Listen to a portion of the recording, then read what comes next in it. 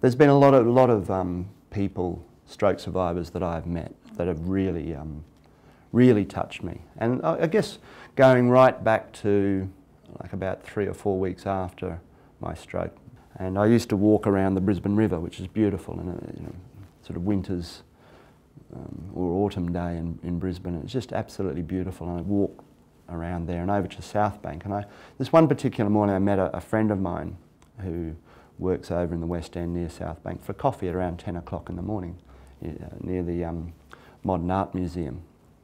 And we are just having coffee there, and then all of a sudden, this, um, this guy on, um, on a sort of a modified bike, was a tricycle, you know, but big tricycle, arrived with somebody else. And then he came over and he said hello, and it was almost like he was, um, say, worse than being drunk. It was, it, his speech wasn't great, and he put out his right hand, and it was very, not, it wasn't in good shape, and it was very weak. But I, sh I shook his hand. He said, "Oh, Michael, you know, great to see you in such good shape, and you know, and I'm a stroke survivor as well." And I said, "Well, sit down and have a coffee." So he told me his story, and he was from Adelaide. And he had a stroke similar to me. His, his back artery had split while he was driving a car. So the car crashes. He was very badly injured. Uh, he was also a medical student in his last year. And so he couldn't finish that because he was going to be a surgeon. So his, he couldn't use his hands anymore. He um, had a fiancée and she left and split up.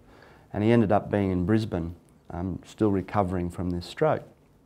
And this was his twice weekly sort of uh, day out, and he had his guy with him who was helping him and stuff like that. And uh, anyway, he, it was amazing that we came across each other. Then he, we had a chat for a while, for about a half an hour, and you know, wished him luck and on his way. And he said, well, you know, good luck to you. And I said to my friend at that time, I said, you know, I'm so, you know, um, I don't know, a bit angry because why, why am I okay and why is he not? You know, it's not fair.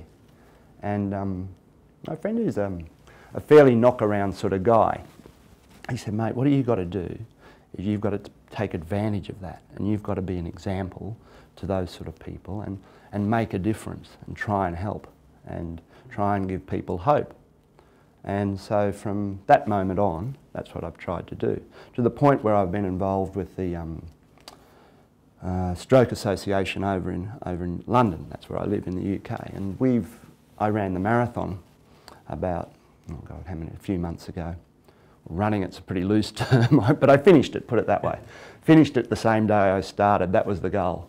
Um, but we raised a lot of money and we came up with a particular project rather than just giving money to the organisation and it just dissipates all the way through it. What we did, we came up this back to work program because when you, um, when you have a stroke and you leave hospital, um, everybody thinks that's the end of it. You cure it, off you go. It's just the start. It's just the start, and there's a lot of people out there that need a lot of help, um, not just around home and family and all that sort of thing, but also having some sort of self-worth where you, there's a reason to get up in the morning. And often, I've been very lucky because I can go back and do what I did previously, but there are people that can't do that.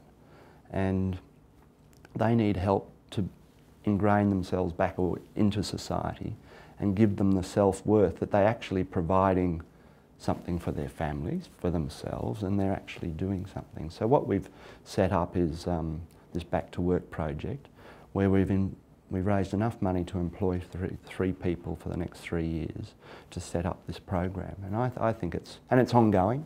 That's sort of thing I've been doing and also meeting a lot of these stroke people. I mean, I could sit here for an hour and tell you about um, the people and the heroic people that I've met. I mean, um, you know, severely affected by stroke, yet they get on with stuff. And boy, they're an inspiration to me.